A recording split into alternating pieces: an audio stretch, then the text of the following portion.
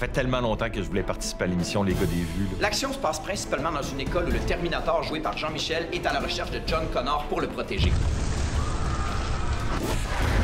À l'abri.